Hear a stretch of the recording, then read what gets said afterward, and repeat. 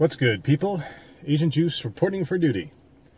Today's video is going to be about how I love fan fiction and uh, fan arts. So, I guess basically uh, fan work in general. Now, you'll notice that this video is a tad different because I am not showing my pretty face in a fancy location this time. Instead, I thought it would be more appropriate to actually show me doing, you know, artwork. So this is my first speed paint. Um, I'm still trying to get used to the software and the, the process, so bear with me if there's any, you know, weird audio or visual nonsense going on. So, uh, today I'm actually drawing Wuya from Xiaolin Showdown.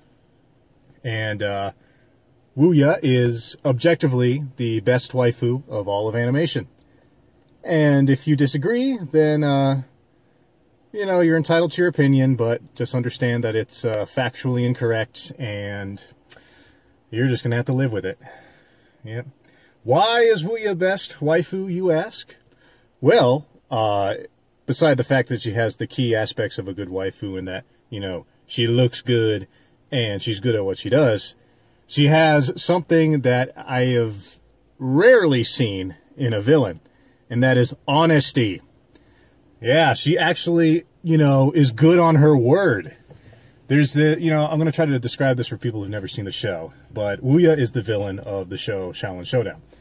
And there is an episode where one of the good guys betrays his team because of reasons and joins Wuya.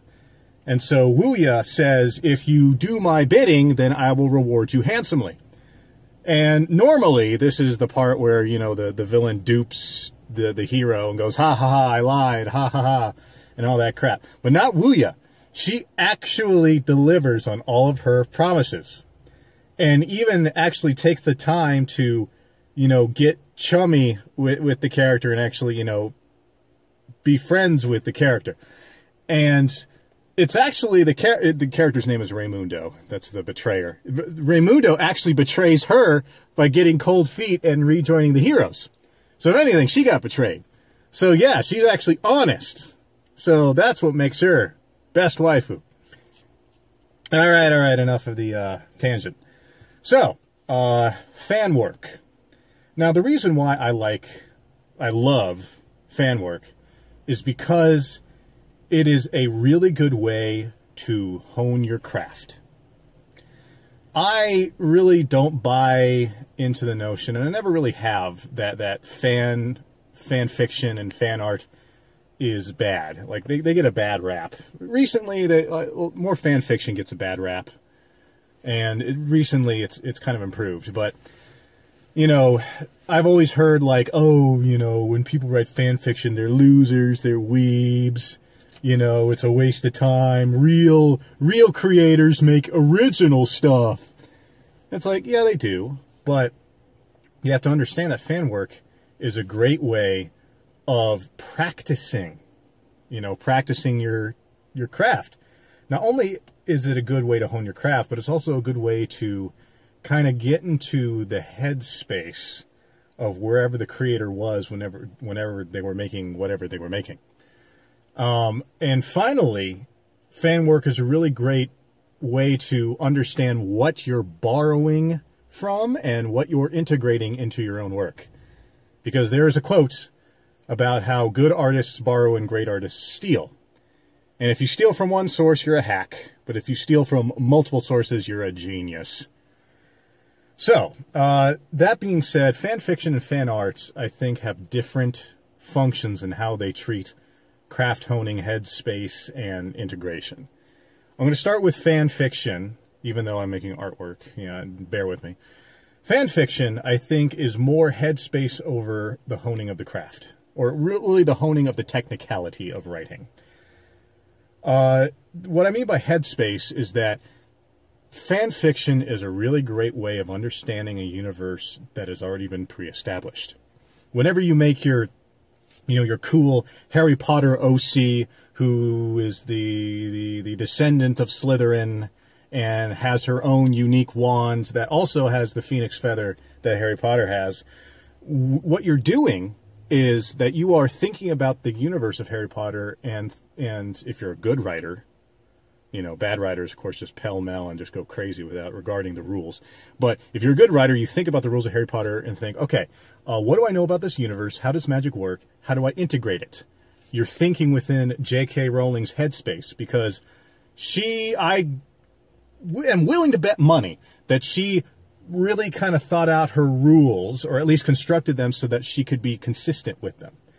So in a way, it teaches you how to be consistent within your own story because when you make your own stuff and you make up crazy fantasyland, you know, worlds, you're going to have to keep track of this stuff in order to make a coherent story. So it's a good way of teaching you that. It does, you know, I said that it's headspace over craft, but craft is a, a part of it because you're learning how to write a story, you know, especially if you post it for people to see and, and judge uh, cruelly. You know, you're learning what the, the marketplace likes and dislikes in your writing. So it's a good way of kind of trial by combat, you know, find out if you can write to at least be entertaining. So I think there's more of a philosophical way of going about fan fiction. As far as fan art, I think this is where technicality is much more important. Because, you know, Headspace is okay. I mean, it's a good way of like figuring out the character design and drawing on model and whatnot. But I think in this case, the headspace doesn't really matter as much as your technicality, the way you can actually draw. And obviously, you know, this is not to say that only draw from other people's drawings because, you know, you need to use real life references, you know, go to anatomy drawings and draw still life and all that stuff. But I think when you're drawing, particularly if you're going to be drawing on model, a lot of these animation studios really want their animators to be able to adapt their style and be as on model as possible. It's a very valuable skill set. And this is not coming from me because I'm, I'm, not a, you know, I, am coming clean here. I'm not a, uh, on a big show right now. I'm not even on any show. The only thing I've ever really done is an internship. But professionals have told me this and these are good professionals and i'm hoping they're not lying to me because i'm kind of you know wanting to take this advice myself. In that you know being on model is a great technique to have because it makes you versatile right? And you want to be versatile. You want to be adaptable especially in the creative business. Well really any business but especially creative you know because trends come and go. Yeah. Anyway um in the headspace part of the fan art, I honestly believe that drawing fan art is a really good way of kind of figuring out what something looks like if you want to integrate it yourself. For example, I mean, let's say you want to make a really cool story or or make a really cool OC in a in like a oh, what's a good one? What's something that uses a lot of armor and like something really hyper produced?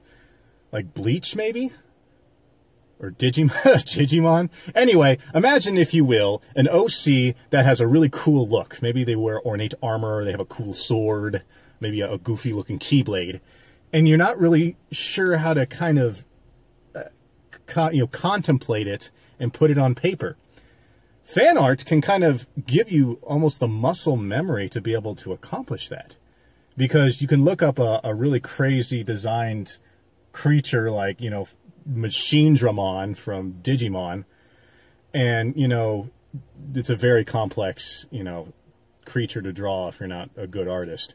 But you can kind of guesstimate it and, or at least look at it and think like, oh wow, that's a really interesting integration of these giant cannons on his shoulder. I would love to create a monster with giant cannons on its shoulder. And it kind of gives you inspiration to kind of like pull from here and there. Because remember, the geniuses steal from everything and you kind of assemble it. And fan fiction, of course, is the same way. You can write these stories, and then once you've written them, you get ideas of like, oh, wow, that's how they resolved that plot conflict. Oh, wow, that's how they thought of that thing. You know, and you can tie all this together. And you can take it because you've honed your craft, you, you've practiced the headspace, and now you're integrating it in your own creativity. So please, definitely indulge in fan work. It's fun. You know, that's probably the most important part. It's fun. I like drawing Wuya. She's she's good looking. And the green glowy thing she does is really cool. And also and she's best boss. I mean, come on. Again, honesty. All right, enough of that. So, um, I hope you guys like this speed paint. I'd like to do a little more of them. Hopefully I can refine it, you know, make them a little cleaner and better and all that stuff. So you guys know what to do. Like, subscribe, hit the bell. Um, once again, I'll provide the intro video link to this Teespring so you guys get yourself pretty tee, support the cause, yada yada. Holidays are coming up, all that good stuff. And until next time, deuces.